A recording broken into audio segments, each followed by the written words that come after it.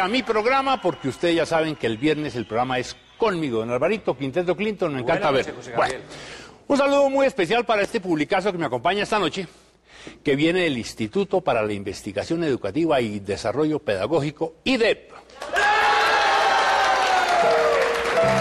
¿Qué es el IDEP? El IDEP promueve y desarrolla investigación para mejorar la calidad de la educación en el distrito de Bogotá.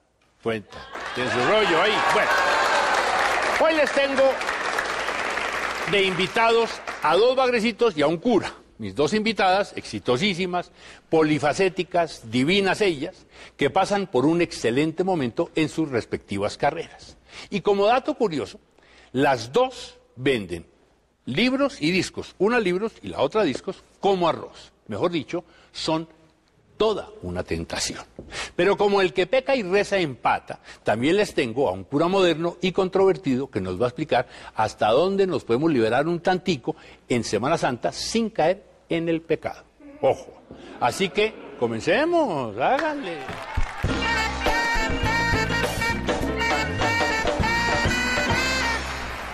Bueno, mi primera invitada esta noche es barranquillera, pila desparpajada, churro de churros, actriz, periodista, empresaria, en fin, madre de una chinita de 14 años adorada y madre también de la primera serie escrita por un colombiano, en este caso por una colombiana, y producida por un canal norteamericano. Es que ella sostiene, no sé por qué, que nosotros los hombres las preferimos brutas. No sé dónde se le metió esa vaina, pero bueno, está con nosotros Miriam Isabel Santo Domingo Martínez, más conocida como Isabel Santo Domingo.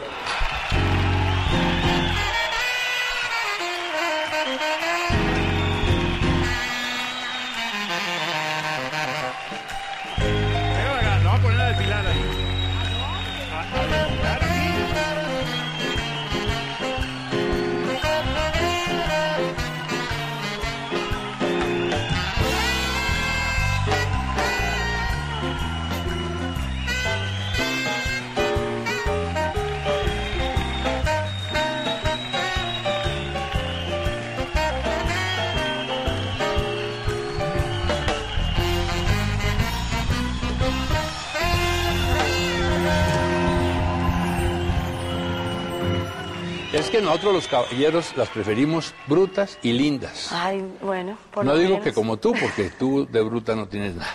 No creas, soy bruta. Si hubiera ¿Sí? sido más inteligente ya tendría alguien que me mantuviera. Hace rato. ¿Y no has conseguido?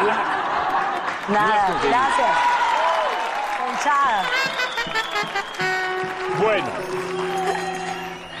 ¿Por qué será, según tu teoría, medio loca, Loca, es un que hecho científicamente nosotros los caballeros las preferimos brutas? ¿Por qué? Pues realmente lo que quise fue eh, eh, crear un título provocador. eh, lo que les produjera me servía, rabia, risa, lo que fuera. Yo quería despellizcar un poquitico a la gente y que entendieran que la, la base para poder tener una buena relación de pareja no está en competir, sino en compartir. Es respetable cuando las mujeres queremos estar solas también, que no nos interesa tener una pareja. Para, por ejemplo, yo soy novia en serie En serio. en serio. Yo, hace poquito me preguntaron, Isabel, ¿y tú por qué no te casas? Yo, pero ¿por qué me tengo que casar si yo no he hecho nada malo? O sea, no, no entiendo. Entonces es, es cuestión de, de visión, De visión. En, en la vida. Y yo lo que quería decir a través de este libro es, ¿no se han dado cuenta las mujeres independientes, aquí con este público maravilloso que tienes, todas, todas trabajan en cosas muy importantes, ¿no se han dado cuenta que es muy difícil de verdad tener como relaciones de pareja estables? Eh, eh, los hombres se asustan un poquito, es más difícil conseguir esa, esa pareja que se quiera quedar en la casa y que le quiera colaborar a uno. De alguna forma los hombres se vuelven también como que, como que reaccionan, pero lo que descubrí es que a veces somos nosotras las que también estamos eh, imponiéndonos demasiado y estamos compitiendo con ellos en vez de compartiendo con ellos. Te ofrezco un dileto Ay, eh, delicioso. me encanta. dileto. Este es de mi café Y favorito. Te regalo el dileto. ¿En Y serio? como yo sé de dónde vives tú, te queda uno muy cerca en la calle Yo sé, a la 78 con carrera 11. A la vuelta. Ahí está, Me a la vuelta de tu Ay, casa. muchas gracias, buen está. regalo. Gracias. Pruébate ese, ese, ese capuchín, para que veas eso. Como me quedé espuma en el maquillaje, te jodo. A ver, toma a ver cómo te queda.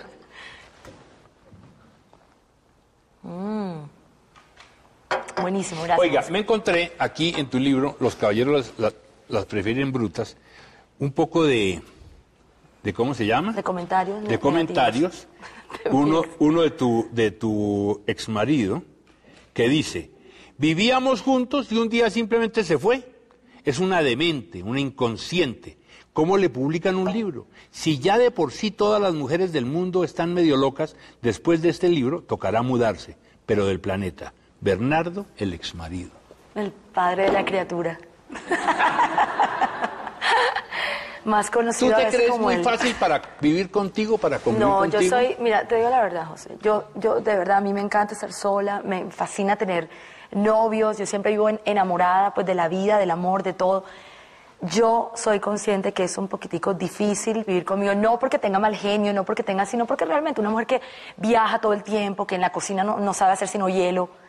O sea, o sea, realmente, o cuando estoy muy inspirada, puedo servir Rice Krispies, me queda buenísimo. Yo sé que es un poquito complicado. eh, llegará un momento, seguramente, cuando me queden unos cuantos años de vida, cuando realmente me, me aplaque. Pero de verdad que yo, yo tengo admiradores, yo tengo tipos que me invitan y todo. Lo que pasa es que me caen bien y me da pesar que se encarten conmigo. Entonces, Entonces tú estás hecha para vivir sola.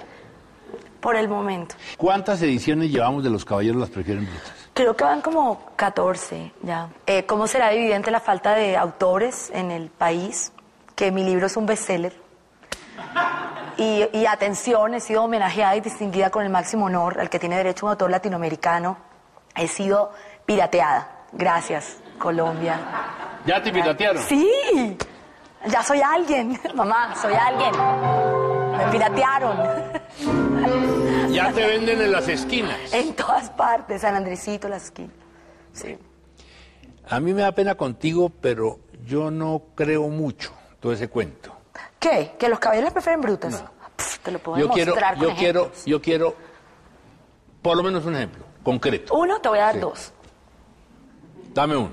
Vamos. ¿Pero quieres ya que te lo dé aquí en, en verbal o quieres que físicamente te lo demuestre? No, yo te tengo ahí preparado una cosita como para que me lo demuestres. Vamos. Vamos. Estoy emocionadísima. O sea. Entonces, ¿qué, qué, qué tengo que hacer? Mira el partido de fútbol. Un partido. Ah, bueno, mentira. Atención. Momentico. Estamos en el partido de fútbol. Ponte la actitud como si fueran a meter un gol, algo. Dale. Espera un momentico. No comienza a mandar tanto. Santa Fe, Millonarios. Los de azul, Millonarios. Los de rojo, Santa Fe. El de negro es el árbitro, como tú. ¿Qué, ¿De qué equipo juega el de negro? Santa... No, ese es el árbitro. Ah. Mi- mira, concéntrate en la película. Dale. Concéntrate. No, vamos a mirar el partido. ¿Qué pasó? Yo leo el partido. Tú estás viendo el partido entusiasmada, dale. ¿Sí? Sí, dale. Yo no te estoy ni parando bola, yo soy lo mío. Dale. ¿Por qué? Bueno, mire, está buenísimo. Acaba de salir. Ay, no puede ser. Ay, tráeme una cervecita.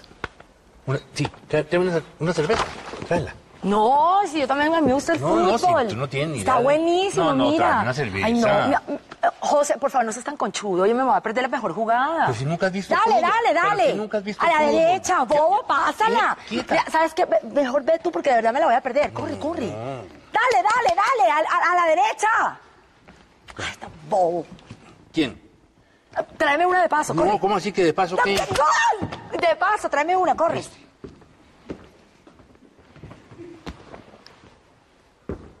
Ten, a ver, ya. Divino, gracias. No. ¿Y por qué la cambió? Si estábamos en fútbol, ¿por qué telenovela? ¿Sí ves que sí funciona? Salud, salud. ¿Y si chicos. funciona? ¿Y si funciona, por qué funcionó?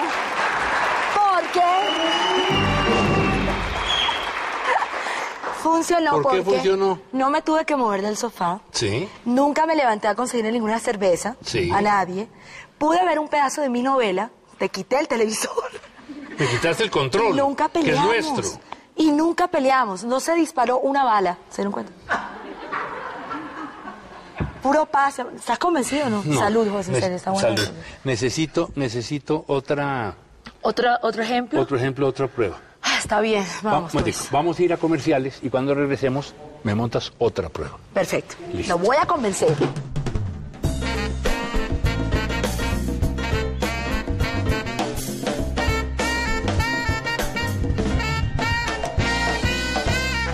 Pero mira cómo está esto. ¡Ah! Te tiraste la camisa. Yo, yo no tengo talento para eso, gordito. Yo trato. Pero, yo te... Yo trato, yo... ¿Qué pasó? No, no, no, no, no, no, no, mira, definitivamente. ¿Qué pasó, No, padre? esta muchachita no tiene arreglo. Por- No te pido que te confieses, ni te prometo ni que reces. Yo solo quiero que me digas que no hay mujer que más amiga.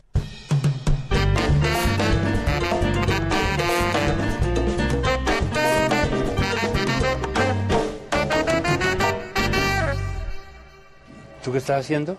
Te estoy planchando la camisa, gordito. No, no, ¿sabes qué? Yo me voy ya con este. Yo me voy ya No, no, no, este. pero dame cinco minutos. He estado practicando toda la semana, por favor. No, yo me voy con este. ¿Ves? Ya la tengo fa- puesta. pero ya casi, te pero prometo. si- no, así no se Ay, plancha. no, gordito, por si se plancha. Mira, yo, yo te lo juro, te lo prometo. Pero que mira, pero mira yo- cómo está esto. Te ¿Viste? tiraste la camisa. Yo, yo no tengo talento para Te eso, gordito. Yo trato. pero- pero yo te di- trato, yo. No, pero tranquila, tranquila, no llores. No, no, tranquila. Yo te No consigo. sirvo. No, yo, no, momentico, tranquila, tranquila. Yo te consigo una niña que venga y plancha aquí todos los días. ¿En No te mortifiques.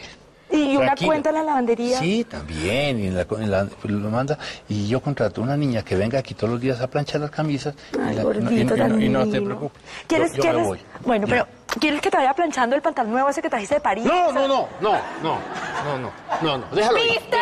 ¡Funciona!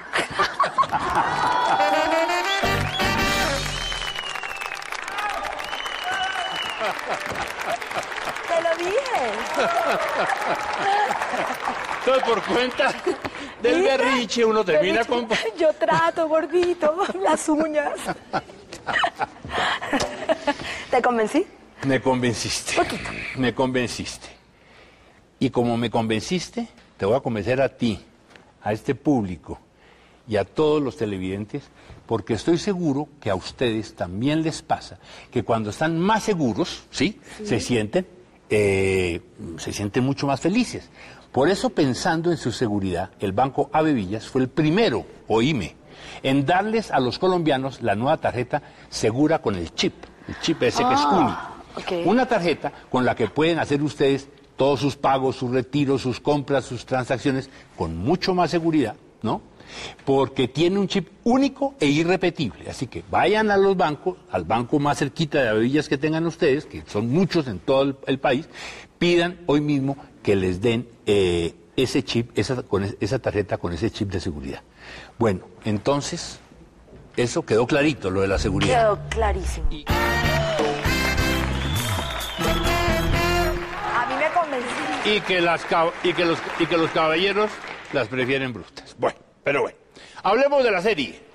¿Cómo va la serie? ¿Mi libro? ¿Qué me dijiste mi libro? Bueno, Ah, te lo llevaron. Contale que Eh, no las estés planchando.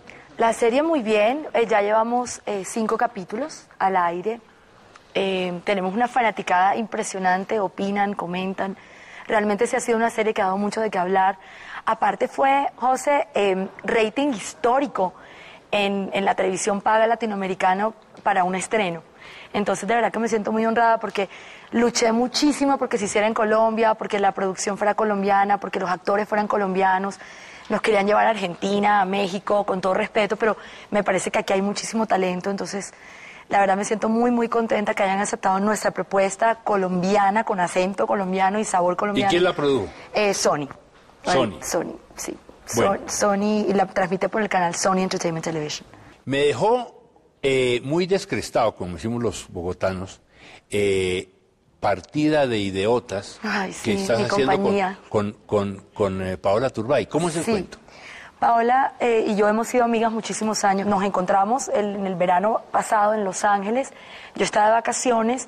Empezamos a hablar de un proyecto en la, la piscina de su casa y se nos ocurrió hagamos partida de idiotas, eh, una generadora de contenido. Ya tenemos dos proyectos que están en este instante en los escritorios de dos productoras norteamericanas, porque la idea es escribir en español y en inglés eh, películas, series de televisión, eh, cosas, generar contenido. Eh, próximamente también tenemos el plan de hacer un stand-up juntas, entonces me voy a traer a Paola acá a Colombia del Y pelo. ya tienen el nombre y... Eh, No sé, estoy entre diamante en bruta o mejor diva que muerta. no sé. Bueno, Bueno. Pero mira, a mí me preocupa una cosa, y en esto yo quiero ser sincero contigo. Eh, los dos sketches que hicimos para convencerme Sí. de que las preferimos brutas, bueno, sí, me convencieron. Un momento, quiero decir algo. A ver. No existen las mujeres brutas, es solo que algunas fingen mejor que otras que lo son. Y todas son inteligentísimas. De eso se trata el libro. A ver. Pero a ver, a ver. Sí, pues que yo pensé que se sobreentendía. No es Bueno. que ninguna es bruta. Pero se inicia la Semana Santa, la semana de recogimiento. Y yo quiero, Isabela, que te confieses. Que te confieses, que te arrepientas de tus pecados, que reconozcas tus fallas, cuántas veces has caído en ellas, en el pecado. Pero el programa Lo que, solo dura tenemos una buscar- hora. lo que tenemos que buscar es el camino de Dios, el camino del cielo. Entonces yo te propongo. Yo salí una vez con un Jesús, chucho, ¿sí? guapo. Ahí va en el camino correcto. Entonces he traído un sacerdote Sí. muy especial, que comprende, que acepta, que no se escandaliza. Visionario, vanguardista, de mente abierta, Sí. alcohólico. No, no, todo lo contrario. Pero, Digo, para que me pueda confesar, No, no, yo qué. Entonces, es una persona que entiende eh, los pecados de la juventud, le- a lo que estamos abocados hoy en día, hombres y mujeres, con todo este mundo moderno, O sea, este programa tiene una segunda parte, es lo que me estás diciendo, porque mientras yo termine de confesar todos mis pecados. Entonces te invito a que pasemos. Yo quiero que te confieses. Tienes. Vamos. pues. No es tan buena idea. Es que el programa no dura ven, tanto. ven, sí, vamos. Padre, ¿cómo está? Ven, ven. Perdón, José Gabriel, perdón. Bueno, padre. Dale. Mira, ven, ven. Todos los pecados, todos los pecados. ¿Todos? Todos. Dale. Padre, confieso que he pecado mucho, pero mucho, mucho.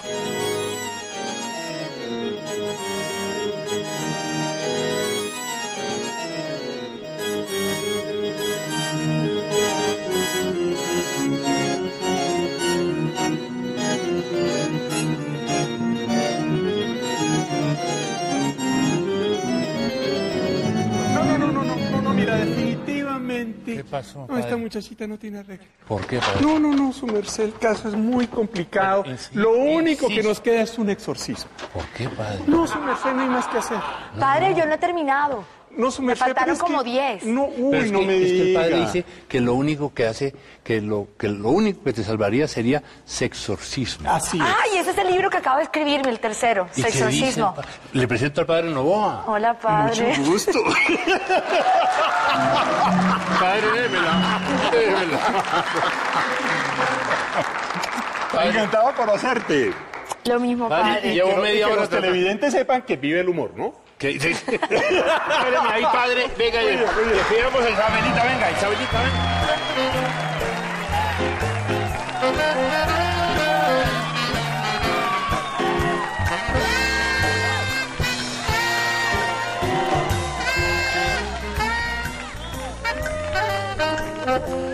Ahora sí fue cierto. Bueno. Ya vieron a mi siguiente invitado. Es un sacerdote, pero no cualquier sacerdote, cachaquísimo, licenciado en filosofía, doctor en ética teológica, crítico de arte y de muchas cosas más. Ha escrito como diez y pico libros, columnista, melómano y por encima de todo sacerdote jesuita. El padre Carlos Novoa, mi querido. José Gabriel, muchísimas gracias. No, el placer es todo mío. Oiga, padre Novoa, se nos vino la Semana Santa. ¿Cómo le parece, José Gabriel? Eso ha cambiado mucho. ¿Cómo no? Gracias a Dios, cuando gracias yo a era- Dios. Cuando yo era un niño, me acuerdo que la Semana Santa era una cosa como dramática. Claro, y solo música clásica en las emisoras, ¿se acuerdan? No, solo música clásica. Y la gente vestida de negro. Sí, y- claro. Pero ahora sí es como medio rumba o qué. Para que sepa, José Gabriel, a mí no me, no, no me choca que la gente se vaya de vacaciones, más, digamos, en este, en este mundo tan absolutamente congestionado, con tanto estrés, con tanto trabajo. Eh, yo soy testigo de que hay mucha gente que es creyente y que en vacaciones saca un tiempo Perdón, para padre, ahí reflexionar. le traigo su dileta. Ah, esto es delicioso, muchísimas gracias. Y que saca su tiempo para reflexionar, para celebrar las ceremonias, si es creyente, porque si no es creyente lo respetamos y no tenemos por qué no. Pero Sí. ¿qué va a pasar? ¿Se acuerda que decían que, que si uno hacía el amor en- el Viernes Santo se quedaba pegado con un pescado? ¿Cómo le parece? Perdiditos, su merced, perdiditos, porque no ve que eh, eh, hacer el amor y la práctica de la sexualidad lo hizo mi Dios y dice en el Génesis que Dios vio que era bueno. Entonces, ¿me explico? Sí.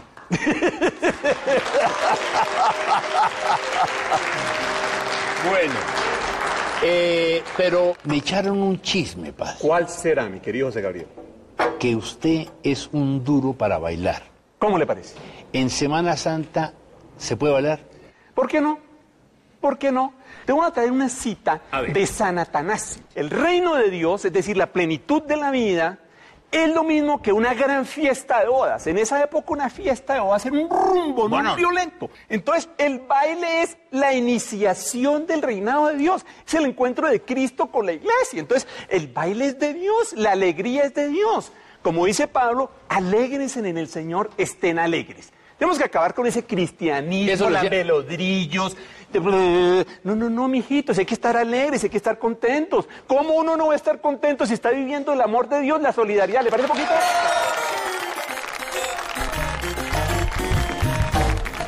Ah, no. Si todos los curas fueran como usted, la, la vaina estaba salvada. ¿Le parece? Claro, estábamos salvados. Bueno, Hay varios, hay varios como yo, no se ¿qué, qué hubo la salsa? Cuando ustedes digan. Le traje la pareja de salsa. Hágame el favor, ¿quién es? ¿Dónde está la pareja? Mi pareja. Ahí está. hágame el favor. Mire lo que le traje. Hágame el favor.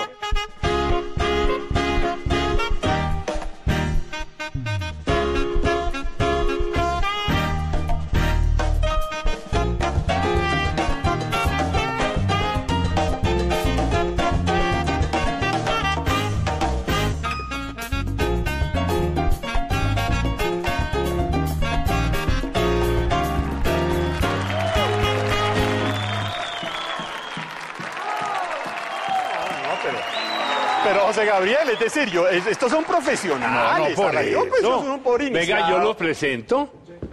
Niña, ¿cómo le va? Muy bien, gracias. No sé cómo le va. Les presento al padre Encantado. Mucho gusto. Ustedes son unos maestros, Eh, felicitaciones. Ellos son pareja. ¿Ah, sí? Claro. Qué lindo. Están casados en el nombre de Dios y todo. Por supuesto. Sí, exacto. Entonces, niña, hágame el favor usted, le enseña al, al padre un paso. Su merced, pero sin tanto movimiento, pues, porque no, no, no, no soy un experto. Más suavecito.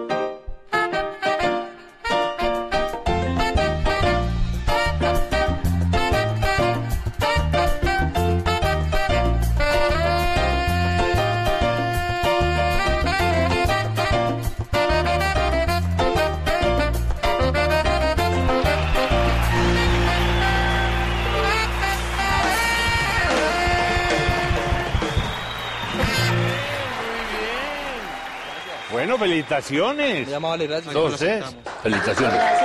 Encantado. Gracias, Chino. Millón de gracias. Venga, padre. Muy bien. No, el padre no va a hacer un otro. Es el duro de la salsa. Por supuesto. Bueno. Entonces, padre, continuemos. Sigamos. ¿Cómo este no es? No se trata de una cosa muy profunda y tal. Hablemos del pecado. ¿El pecado sí existe? ¿Qué Por es el supuesto. pecado? ¿Quién ¿Sabe, peca? ¿Sabe qué es el pecado? ¿Quién peca? Desde el Evangelio le voy a decir que es el pecado. El pecado es no ver en el rostro de cada persona el rostro de Jesús. La palabra pecado de etimología latina significa falta de carencia. Sí. ¿Qué es el pecado? Falta de amor, falta de consideración por cada persona. Sí. Olvidar lo que dice eh, Jesucristo en Mateo 25.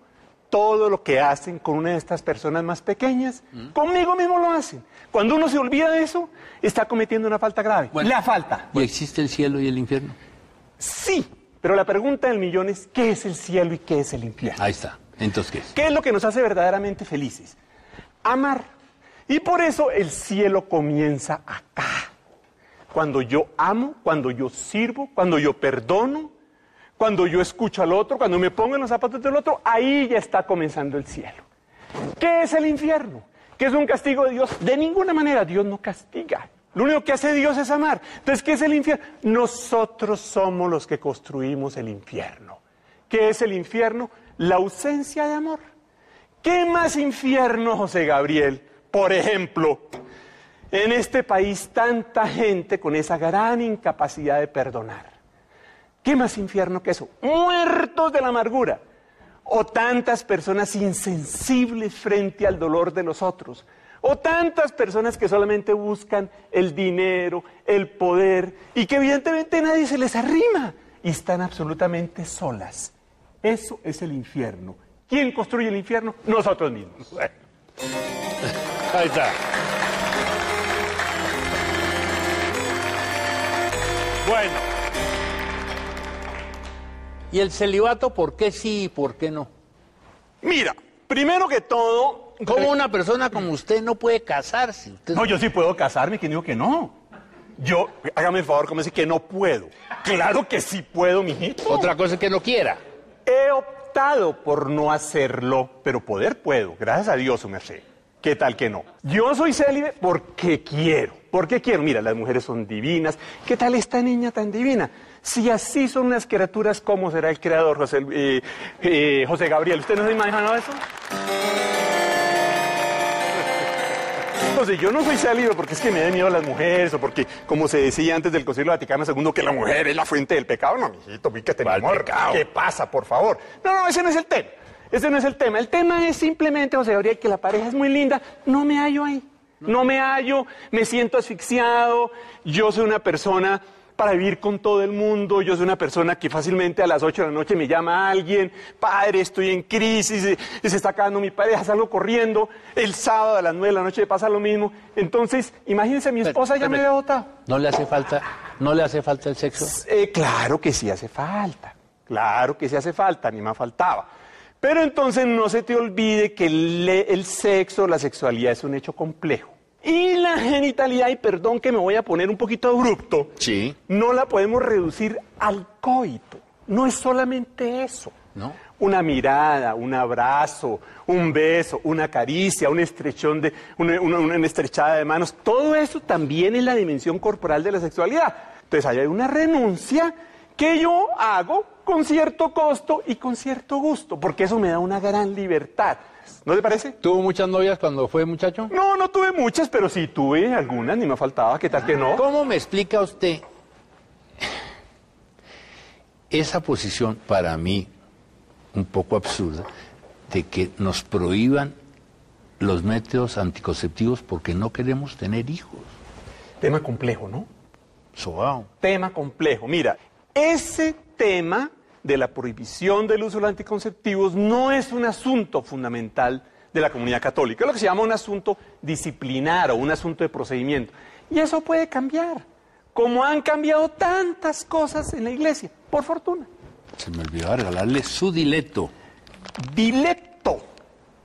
Eso es una palabra italiana que significa gustoso, delicioso, agradable. Y realmente está muy rico. Este café es exquisito. Pues lo máximo. Te felicito, Es lo delicioso. máximo. Muchas gracias.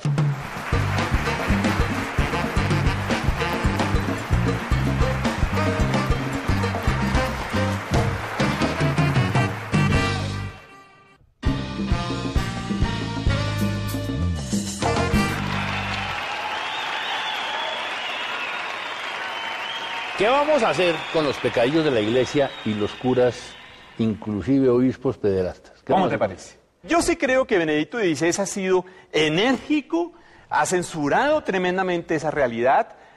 Eh, como decía alguien, ya que un solo padrecito haga eso, es muy grave.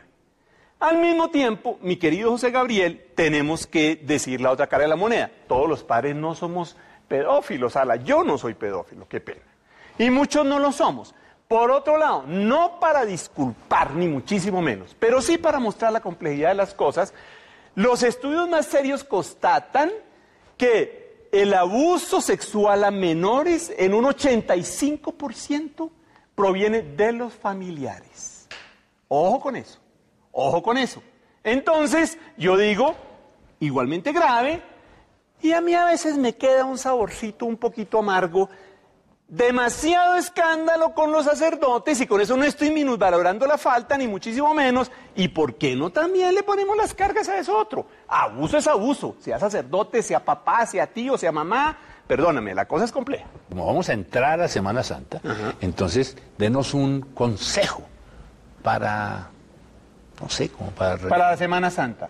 para Semana Santa. Y un consejito y la Para reencontrarnos cada uno con Dios. Un consejito. Un consejo. Pongámonos frente a la cruz de Jesús.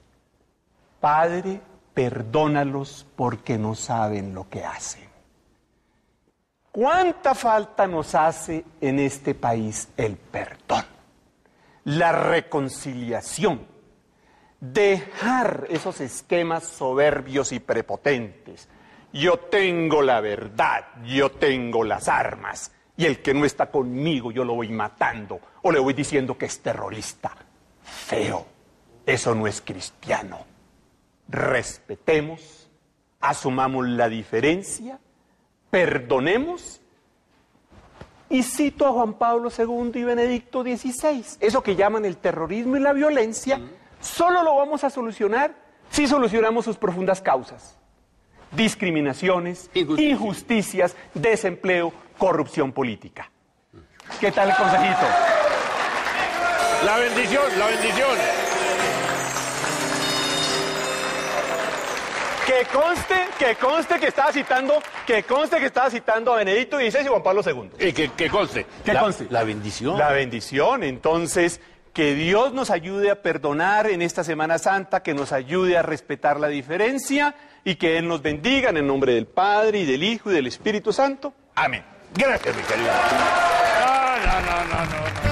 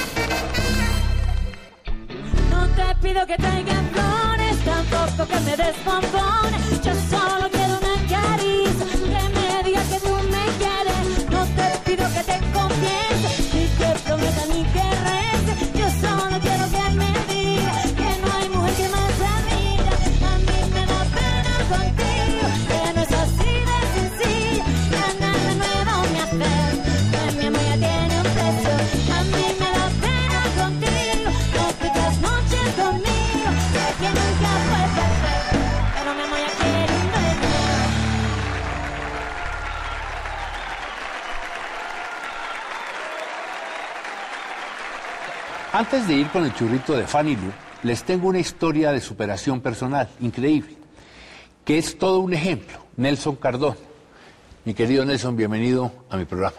José Gabriel, muchas gracias de invitarnos acá. Y bueno, estamos acá listos. Todo terreno, Chevrolet. Todo terreno, Chevrolet. Bueno, ¿cómo es la historia? ¿Qué es lo que usted pretende hacer, Nelson? Bueno, José Gabriel, eh, resulta que antes de partir para el Everest del 2007, nos estamos preparando el Nevado del Ruiz. Mi misión era llegar sin oxígeno a la cima del Monte Everest. 11 meses antes de partir, tuve un grave accidente eh, en el Nevado del Ruiz, en mi propia casa.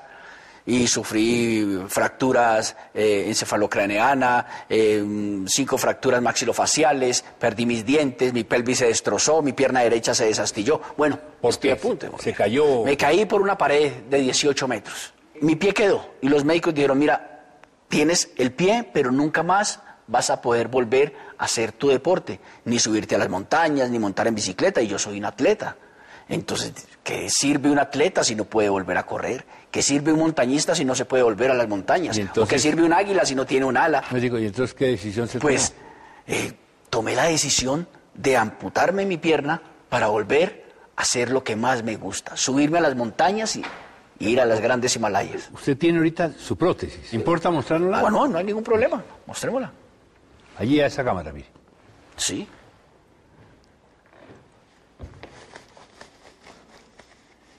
Ah, la amputación es de rodilla para abajo.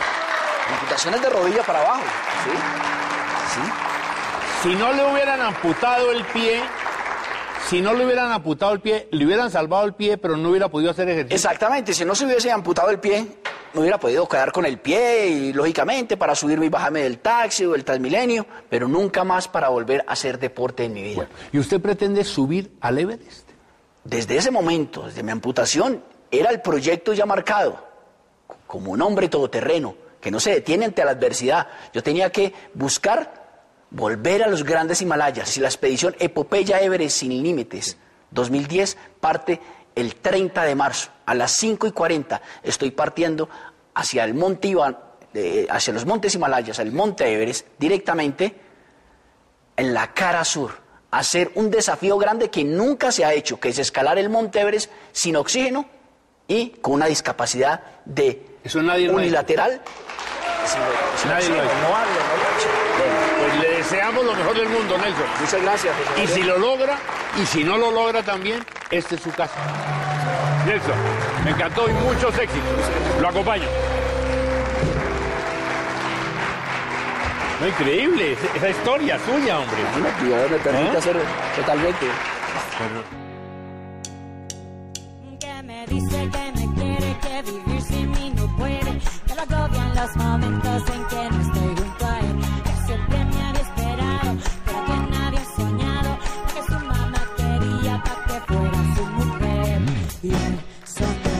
Conmigo, quiero que tú sepas que tú no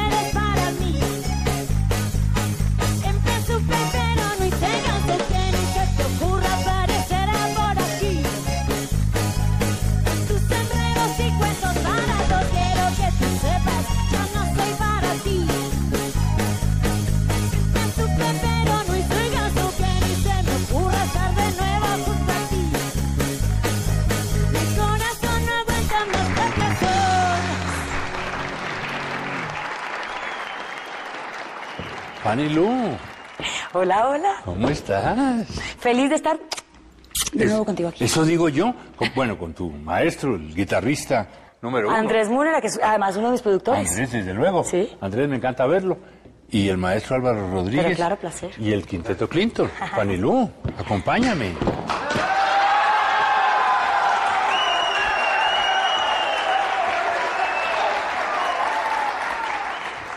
Fanny Lucía Martínez, más conocida como Fanny Lu. Sí, señor José Gabriel. La última vez que supe de ti, estabas temblando Imagínate. en Chile. ¿Cómo fue esa Una, exper- experiencia? una experiencia de esas que nunca piensas que vas a vivir, no más cuando llevas meses o semanas hablando de, de Haití y de la necesidad de ayudar a Haití. Entonces, como que en la mitad, lo confieso, del terremoto, eh, sentí como que, uy, estamos otra vez como viviendo algo que, que vivió hace poco Haití y por lo ¿Dónde que yo estaba hablando yo estaba entrando a una casa porque acabamos de salir de la Quinta Vergara y estábamos entrando a la casa y empieza a temblar pero a mí me han dicho que allá temblaba mucho Sí. entonces yo al principio dije un temblorcito y empezó esto a moverse como uno no se imagina que se puede mover la tierra no y la luz se fue hubo un poco pánico un poco Claro. de gritos no y, y bueno yo digo que a uno lo que le pasó fue obviamente nada en comparación con, con la gente que realmente estaba en el epicentro no y, y gracias a Dios aquí estamos y después de varios días pudimos salir por Exacto. tierra Muy bien. bueno aquí estamos Y estamos aquí. sí señor Bueno, ¿cómo va dos? Dos ha sido eh, como, como eh, ese álbum que me ha dado la, la oportunidad de seguir creciendo. Cre- Espero que cada álbum sea así, ¿no? Pero claro. Que realmente te permita eh, seguir creciendo. Experimentamos mucho, escribí mucho, coproduje el álbum. Fue una experiencia muy linda este segundo álbum. ¿Por qué no echamos un brochacito a todos tus éxitos? Cantemos a capela cariñito. Ah, Vamos, vamos al, primer álbum, me parece muy bien. Sí. Préstame tu cariñito, un cariñito de mamá. Poquito que remiende este dolor causado. Regálame tu cariñito, un cariñito de mamá. Te arrepentirás. Esta sí es un poco, un poco contra ustedes, los hombres necios. Seguí hasta la luna, olvidando atrás todo por no verte partir. Empaqué mis maletas, regalé alguna ropa para poderte seguir. Me subí en un avión, traspasé las fronteras por llegar junto a ti. Y pues sin darme cuenta, poquito a poquito te acostumbraste a mí. Tú me diste por hecho y te viene el despecho por no saber compartir. ¿Cuál fue una que le compusiste a tu papá muy linda que se llama Un Minuto Más? Mira, tuve el privilegio de trabajar con Noel Ex Sin Bandera, un gran artista, de hecho argentino, pero radicado en México hace mucho tiempo. Una canción que habla de ese minuto que te queda haciendo falta cuando alguien se va y, y no has dicho lo que has debido decir y no has amado lo que has debido amar, no has abrazado tanto como has debido. A pesar de lo duro que ha sido esa experiencia para mí, la más dura de mi vida, desprenderte de un ser que amas, eh, he aprendido que hoy digo lo que pienso, lo que siento, abrazo lo que, no, toco, siento, expreso, hablo, porque el día de mañana no sabes si estás aquí. Hoy, es, hoy estás aquí, pero en un segundito no sabes. Eso. Así que es una, una gran enseñanza. Dice, Uno. un minuto más para decirte que no habrá nadie más que me llene el alma de grandeza, que me haga suspirar de mil maneras. Se me llena el alma de tristeza, tan solo de pensar que no... Se me fue la. ¿Sabes qué? Con esta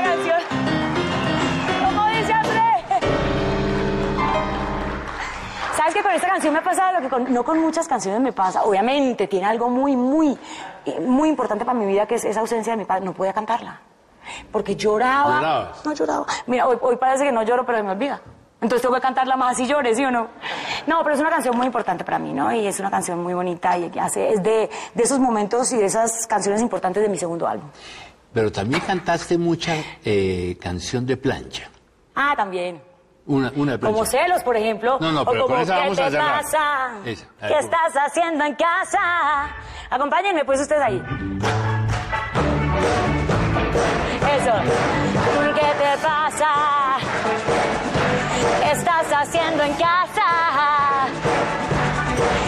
La tormenta ya pasó y en todas las aceras nuevamente brilla el sol. Ven, únete a la fiesta, ¿qué te pasa? Llore. No, una cantidad de artistas, de mujeres que en los 80 llevaron sus canciones a los primeros lugares y yo soñaba, ¿no? Y yo tenía mi, mi estudiecito de grabación desde chiquita y yo, no, me aprendía todas las canciones y yo me sentía a ellas. Cerremos el programa con celos. Pero, eh, claro. El aplauso para mira. Ah.